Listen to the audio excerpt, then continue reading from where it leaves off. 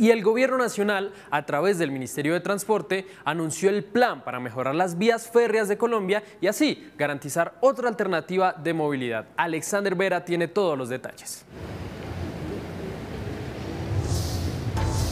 Cristian y televidentes, muy buenas tardes. Con la activación del corredor férreo en Colombia, el gobierno nacional busca establecer conexiones entre los diferentes modos de transporte de carga para mejorar la eficiencia y crear las condiciones para la operación del sistema. Actualmente, el 31% de la infraestructura ferroviaria de Colombia se encuentra operando. La meta de este gobierno es llegar al 100%.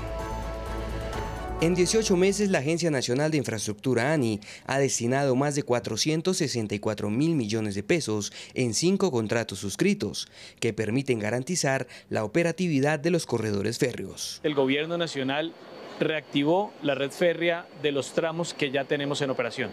Es así como la ruta Bogotá-Belencito obtuvo una, un aumento en los pasajeros que ha venido transportando en esta región con fines turísticos, pero principalmente con fines académicos para bogotanos, bogotanas y gente de la región que va entre Bogotá, Zipaquirá y Cajicá. Colombia tiene 3.533 kilómetros de infraestructura férrea, de los cuales el 31% se encuentran operativos.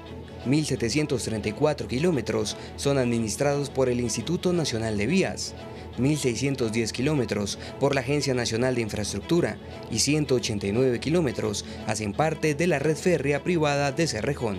Estas iniciativas han contado obviamente con el acompañamiento de entidades como ANI e Invías.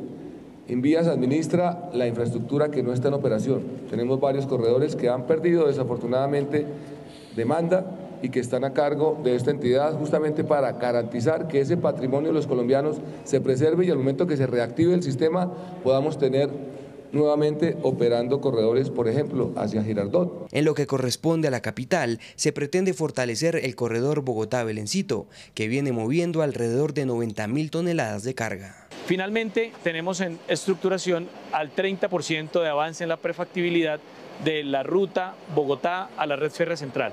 Esto nos permitirá conectar a Bogotá finalmente con Santa Marta y generar unas mejoras logísticas que van a beneficiar a todo el país. En cuanto a pasajeros se refiere, el tren turístico de la Sabana de Bogotá moviliza cerca de 400 mil usuarios anualmente, lo cual evidencia su relevancia para el departamento.